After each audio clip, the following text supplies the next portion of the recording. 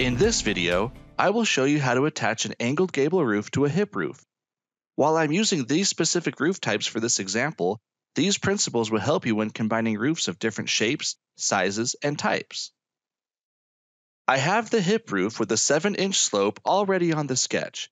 I will add a gable roof by going to the Roof Tool dropdown, click on it, and select Gable Roof.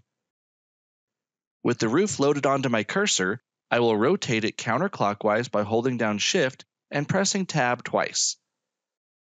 If I go too far, I'll press Tab to go back. This will put the run and rafter length measurements along the top at the same angle as the hip.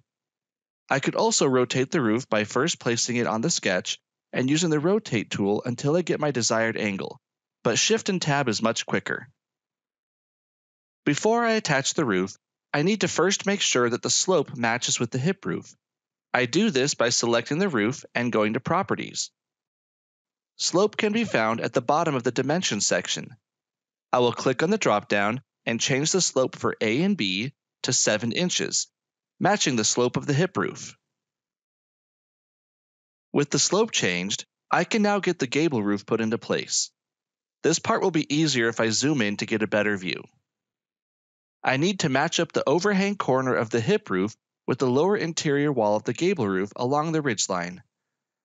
I will select the gable roof then left click and hold the red diamond next to the roof name to be able to move the roof to the corner of the hip roof. When the corner of the hip roof lines up with the ridge and interior wall of the gable roof, I will let go of my mouse button to set the roof. The gable will now be in place and attached to the hip roof, forming a point along the hip. That example worked pretty well and didn't need any adjusting, but what if the gable roof is a bit larger? Doing this example again, but with a larger gable roof, I will attach the roofs together in the exact same manner. This time I can see that the roof is not fully connected and has not formed a point. By pressing 3 on my keyboard and going to the 3D view, I can see that the roof is not connected. To fix this, I'll quickly jump back to plan view by pressing 1 on the keyboard. Then I will select the gable roof and grab the top right roof handles and drag it towards the ridge of the hip roof. As I do this, you'll see the run and rafter length measurements get smaller until they turn into a single digit inch measurement. This now tells me that the roofs are connected. Pressing 3 on the keyboard and going back to 3D view, I can double check that the roofs are connected.